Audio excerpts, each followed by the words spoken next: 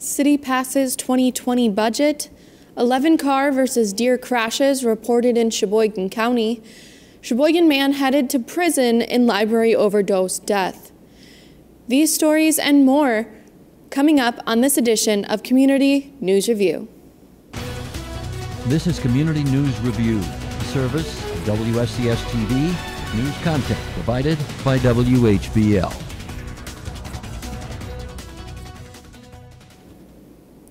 I'm Maddie Pfister, and this is Community News Review for Tuesday, November 5th, 2019. The City of Sheboygan's budget was approved last night. The Committee of the Whole recently recommended that the Common Council pass the next city budget at the meeting on November 4th. The city's budget is a little more than 11 or 114.2 million dollars, which is 9.2 million dollar decrease from last year's. Refinancing some of the city's debt will save 7 million dollars. As far as what specifically impacted this budget, limited growth in new construction and property tax levy limits are listed as two of the main factors. Both the county and the city budget will be voted on this week, and the public hearing was held Tuesday on the county's budget. The county's budget will be voted on by Sheboygan County Board tonight. That meeting begins at 6 p.m.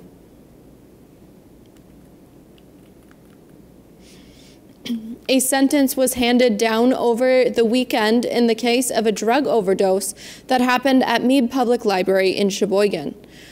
28 year old Peter Bennett pleaded no contest to three felonies and was given eight years in prison and five years of extended supervision. Prosecutors say he, along with two others, provided the heroin that led to the death in May.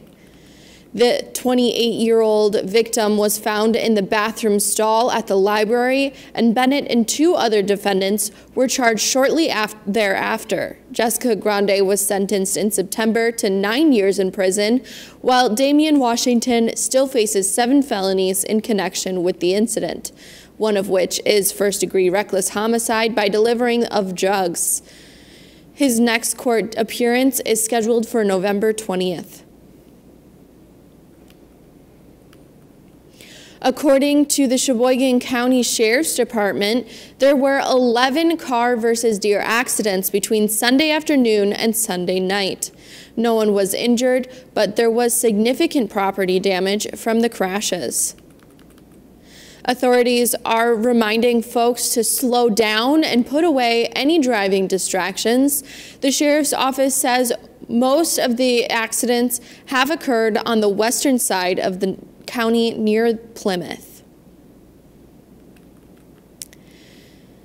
Sometimes people just need a little help. Now, those people are getting help finding the resources they need, courtesy of Mental Health America in Sheboygan County. That agency has, for years, printed a directory of community resources that includes information about 22 categories of concern. Those concerns range from advocacy, disability, domestic violence, and sexual assault to legal housing, LGBTQ, and transportation. Now that publication has been put online for anyone to access from the Mental Health America Sheboygan County website resources page. Drug charges have landed a 33 year old man in the county Manitowoc County Jail. Police say Adam Massman was arrested after he was found by police nearly passed out in his car. According to the Manitowoc Police Department, someone had called in to report Massman driving erratically on South 14th Street just before his arrest Tuesday night at around 1130. When police arrived, they say he had stopped driving and was slumped over his steering wheel and barely responsive. He then failed a sobriety test and was taken into custody. During a search of his vehicle, police found meth, marijuana, and drug paraphernalia. Massman is now facing charges of possession as well as felony and misdemeanor bail jumping charges. And finally, the city of Sheboygan leaf collection continues. Even as snow shows up in the forecast, leaves still falling from the trees can be raked into the street gutter for easy pickup and faster pickup by the city crews now through November, Friday, November 22nd. This year, a new five zone system has been implemented for the better efficacy with one day of the week assigned to each zone. Still, leaves in the gutter can impede storm runoff, and the gutter should be raked clear. Superintendent of Streets Sanitation Jason Blasalia also encourages residents to either mulch leaves into the turf or take bagged leaves to the residential recycling center on the New Jersey Avenue Mondays through Saturdays. And that is all we have for today. Join me again on Thursday for more local news and information on Community News Review.